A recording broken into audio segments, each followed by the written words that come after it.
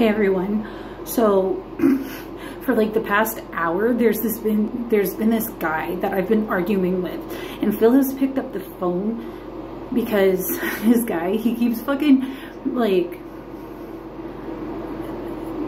trying to voice call me and video chat with me on Facebook, but he's not getting the fucking picture that I don't want to fucking talk with him.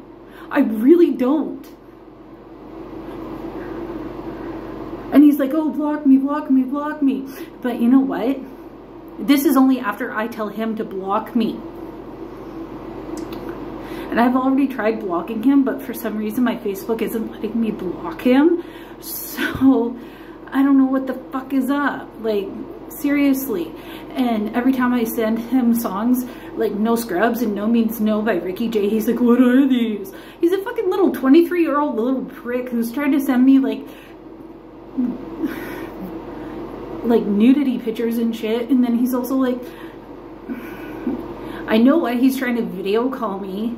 My son's talked to him. I've talked to him. I've told him to, I've told him numerous times to leave me the F alone. And then my husband's even called with his Roadkill Cafe bit. And this guy still keeps fucking, fucking being a dink and whatever. So, you know what? He's like, send me a video of you.